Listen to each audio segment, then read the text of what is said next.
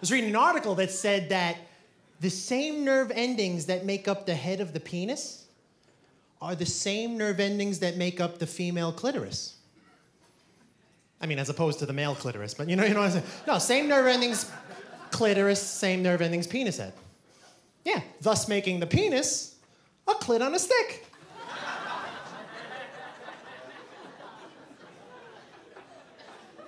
I just like to say clit on a stick.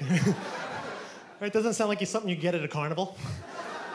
Like, yeah, uh, let me get a funnel cake, uh, clit on a stick, and uh, bomb pop. Yeah, bomb pop.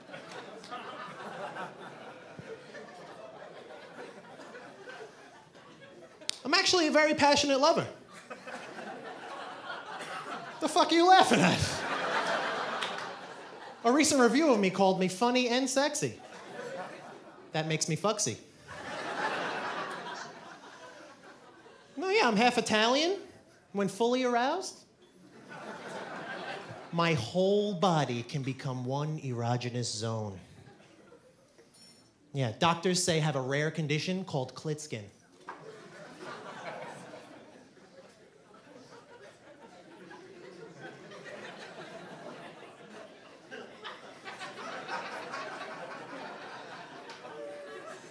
Give me a sec.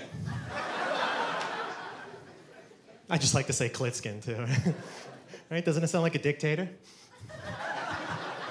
right? Vladimir Klitskin. and then in 1993, Klitskin gassed the Kurds.